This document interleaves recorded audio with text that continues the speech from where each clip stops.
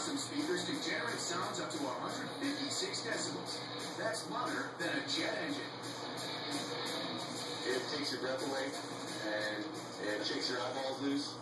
You know, it, rattles, it rattles your eyeballs inside your head.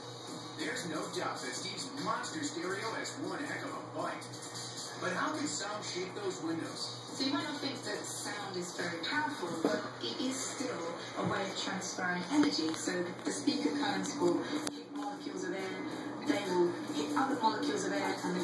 Transfer what is quite a large amount of kinetic energy from molecule to molecule, and all of that energy has to go somewhere.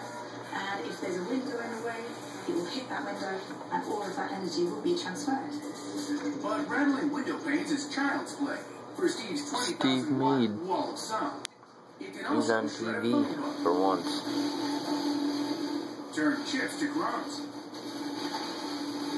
shatter glass, and make his wife's hair stand on end. Like literally. Men with massive speakers in their cars. Why do they do that?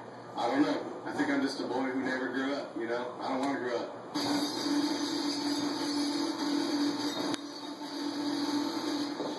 you that, and don't have any more. Coming up next, it's